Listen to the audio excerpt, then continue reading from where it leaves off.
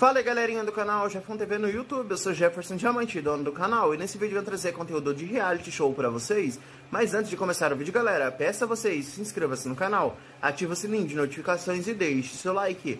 O seu like e a sua inscrição ajuda bastante o canal Jefão TV, e vamos tentar pegar 80 mil inscritos esse ano de 2024, conto com a ajuda de vocês. E agora sem enrolação vamos para o vídeo galera.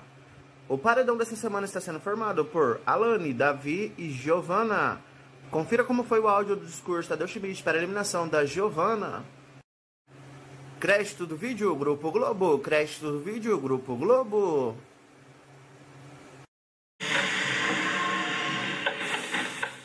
Vocês já sabem de tudo no funcionamento dessa casa, né? Tem um dia, estagiário. Ah, boa noite, gente. Estou com saudade de bater um papo tranquilo com vocês, mas nesse ritmo de reta final tá difícil. Vamos direto para eliminação, tá? Inclusive, hoje a despedida tem que ser aí na sala mesmo. A pessoa eliminada sai pela porta da cozinha, tá bom? Vamos lá. Quando terminar, seremos seis. Quer ver uma coisa? Pega um baralho. Embaralha as cartas. Embaralha direitinho, algumas vezes. Pronto. Você acabou de fazer algo único Toda vez que você embaralha, você coloca aquelas 52 cartas numa sequência única. E não é que você nunca mais vai repetir essa exata sequência de 52 cartas, nem que seus amigos não vão repetir. É que muito, muito, muito, muito, muito provavelmente, nenhum ser humano na história jamais colocou o baralho nessa sequência.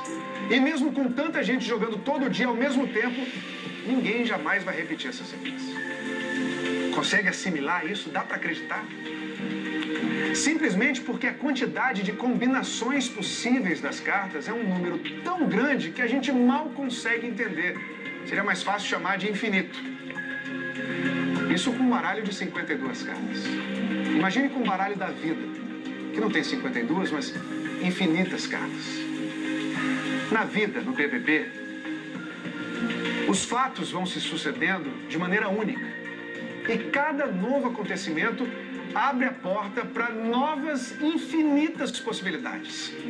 Uma atitude gera uma consequência, a consequência mexe com alguém, se alguém resolve mudar, a mudança é notada pelo outro, o outro toma uma decisão, a decisão afeta várias pessoas, cada pessoa reage de um jeito diferente e assim se desenha a história.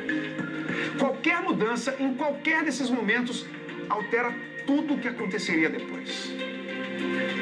Cada BBB é único.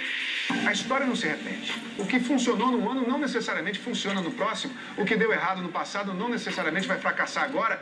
E mais que isso, o próprio BBB 24, se a gente pudesse voltar no tempo e começar de novo, com as mesmas 26 pessoas, poderia escrever quantas histórias diferentes. Ou você acha que não? Você acha que o destino já está escrito? Fato é que a sequência dos acontecimentos escreveu esta história que estamos vivendo. Em que esta pessoa, de personalidade forte, que sempre foi firme nos seus pensamentos, que nunca fugiu de um posicionamento, que vinha voltando de seus paredões, agora vai embora. Você pode até pensar, como seria se cada um dos emparedados tivesse uma pequena mudança na sua trajetória lá atrás? Como seria se no terceiro dia da temporada, na primeira festa, a Giovanna não tivesse resolvido brincar naquele joguinho de dança, se não tivesse fraturado o quinto metatarso do pé esquerdo, se não tivesse ficado praticamente dois meses sem poder participar plenamente do BBB. Foi só se recuperar, logo conseguiu o protagonismo. O que poderia ter acontecido se não tivesse se machucado? E como isso afetaria a casa toda? Essa pergunta vai ficar na sua cabeça para sempre. Não tem jeito. Quem sai hoje é você, Giovanni. Fala galerinha, vocês gostaram do discurso da Schmidt na eliminação dessa semana? Comente aí. Eu estarei lendo todos os comentários e respondendo. E não esqueça de se inscrever no canal e deixar o seu like. O seu like e a sua inscrição ajuda bastante o canal Jefão TV. E vamos tentar pegar 80 mil inscritos esse ano de 2024. Conto com a ajuda de vocês. E até o próximo vídeo. Tchau, obrigado.